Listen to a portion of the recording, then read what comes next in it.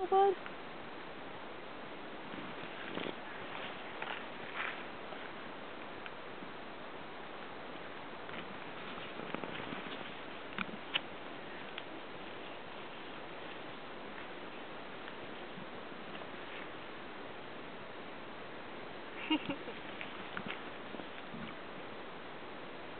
Man, you have to use loving this weather.